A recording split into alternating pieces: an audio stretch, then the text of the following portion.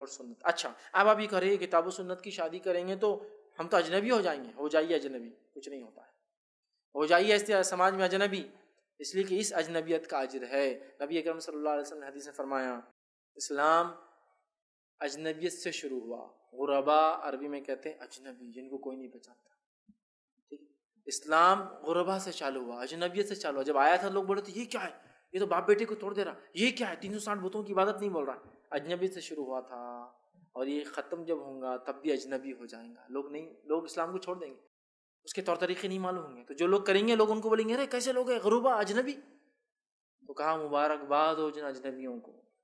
مبارکباد ہو کہ جو ایسے زمانے میں بھی اسلام پہ عمل کریں گے جبکہ لوگ کہیں گے، ارے کیا اجنبی حرکتیں یہ؟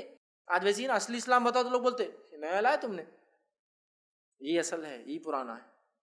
ٹھیک ہے، ہم بھول چکے ہیں۔ تو لہٰذا بن جائیے اجنبی کو مسئلہ نہیں مبارکباد ہے آپ کے لیے سجنبیت ٹھیک ہے، لیکن آج وہ زمانہ نہیں ہے، غربا والا۔